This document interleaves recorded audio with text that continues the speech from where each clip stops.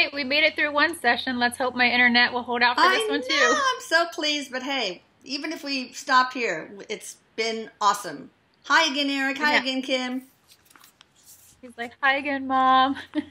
Okay, now the topic is going to be this question from a blog member. What is the bigger purpose behind this global warming trend? And is it really going to be that this tragic in the next 20 to 30 years as everyone's making it out to be? Resources depletion, rising seas, wars, conflicts, changing landscapes, wildlife habitat, communities at risk. wow. As you're saying all that and reading all that, He's going, he's "Wah, wah, check, wah." check, check. Okay, what? That's Yeah, all going to happen? Um, okay, this is what he's saying. First of all, the bigger purpose of it, the bigger meaning is he says, Mom, this is about um, the physicality of being human. You incarnate, you come in to have a physical experience, right? He says, part of that is to take ownership of everything you do. He says, and humans are really good at going like this. I know. Nope, not me. He's they don't want to take responsibility for their actions. But this is collectively, this is in a big way, obviously, he says.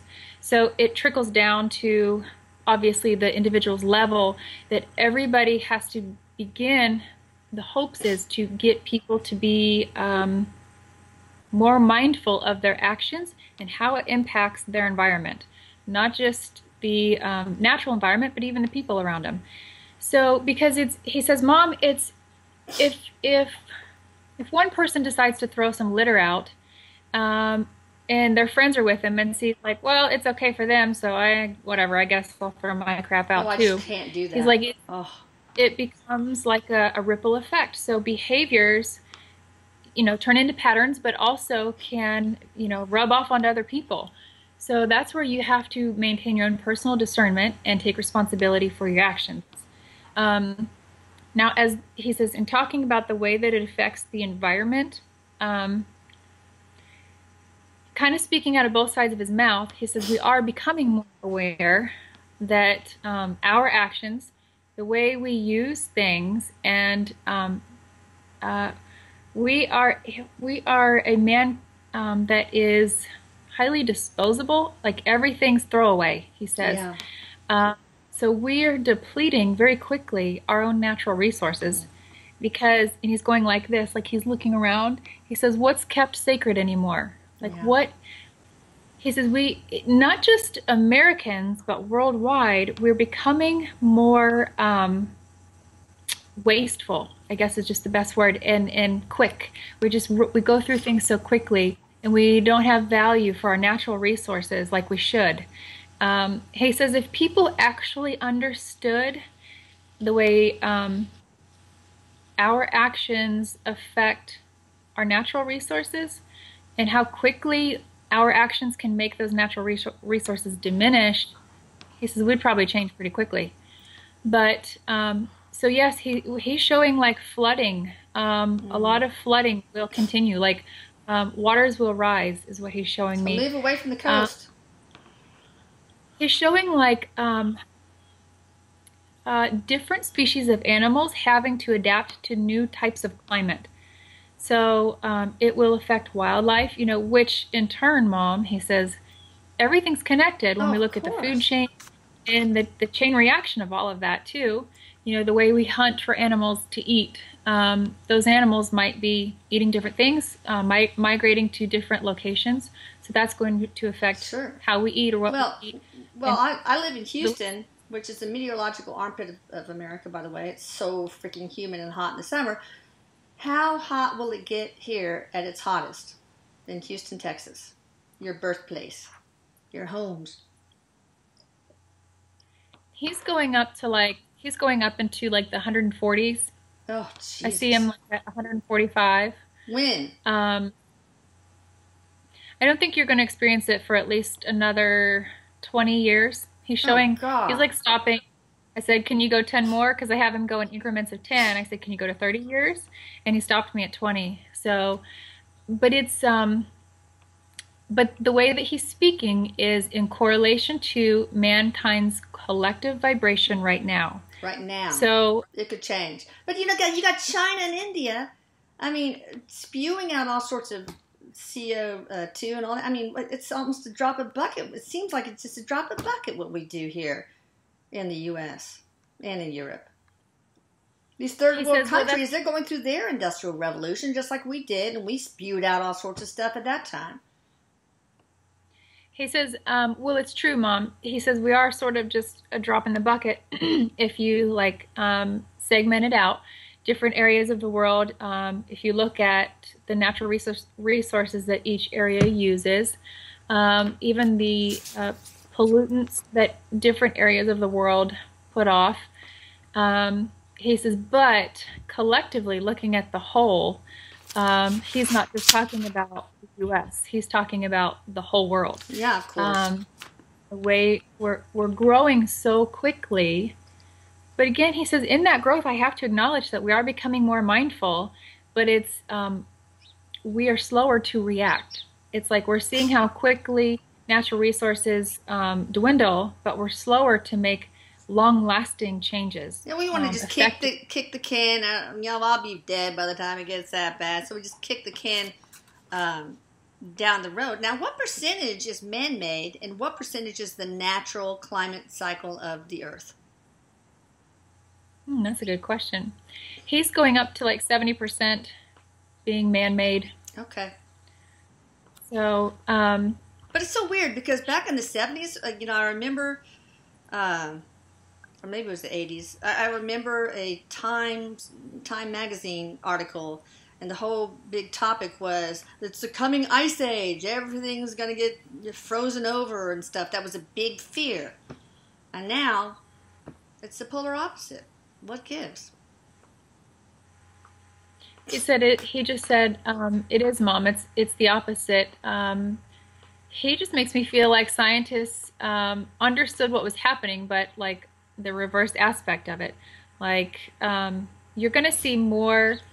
He's talking about the weather um, and how the weather will be affected and, and how we'll be impacted. He says you're going to see more um, rain, like more wet, more um, hurricanes, uh, storms, just more rain.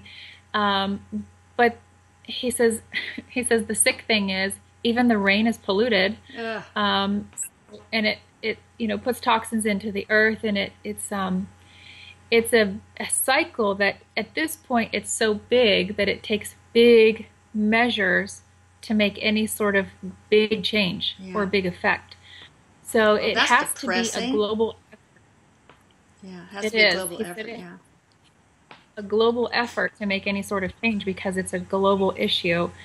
Um, he's this is what he's showing. He makes me feel like um, statistically, you know, I'm clueless, but um, he makes me feel like other countries um, are ahead of us in technology.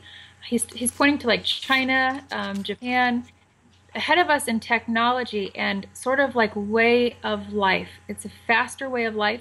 He's making me feel like the US, just specifically this part of this region, is becoming more primitive. So it seems like in we're slowly starting to make those changes. Primitive in um, what way? was what? He says we're becoming, um, we are becoming more mindful of the powerful effects of um, nature um, especially medicinally. He says, Mom, people get it when their health, here comes the language. He says, when their health is fucked up, they know that they have no life.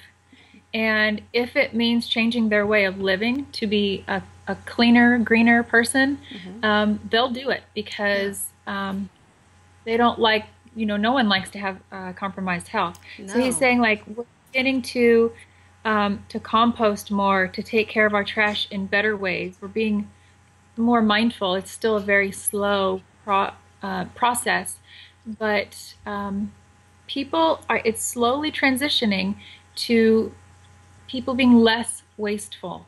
Is as a um, as a um, world, is it getting better? Is our, or are we still getting worse? He says, "Let me put it to you like this." Um, this is really cool. I wish I could just paint this image. He's showing me this image of like the whole world, and then Erik is sort of like, you know, this this bigger perspective looking down on the earth. And he pulls up this blanket and he's peeking in, and it's like now this is the wave of, you know, this is the whole new movement um, upon mankind to um, restore, um, you know, a healthy way of life, a sacred way of life, where natural resources, our earth is protected, um, and we're less wasteful. So it's like, you know, it's.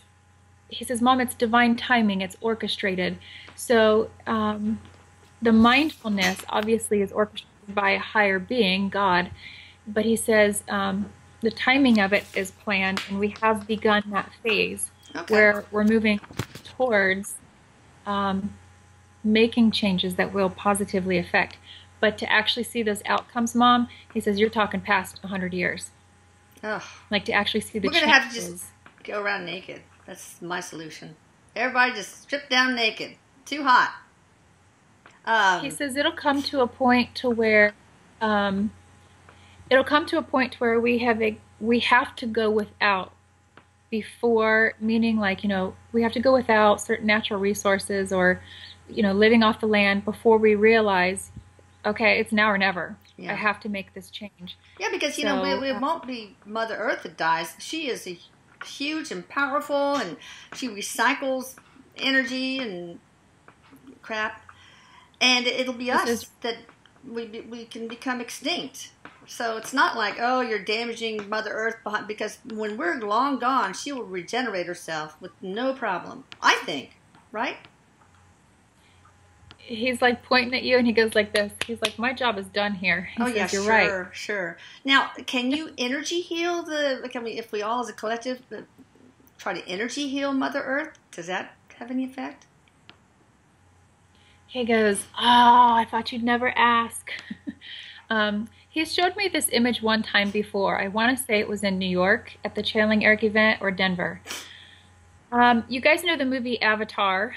Um, and when you see the avatars like walking at night and like they touch the trees and then the trees light up. Oh yeah. And then like every they step, the ground lights up. Um, he says it's the same concept, Mom. Take away all the pollutants, take away all the trash and the litter.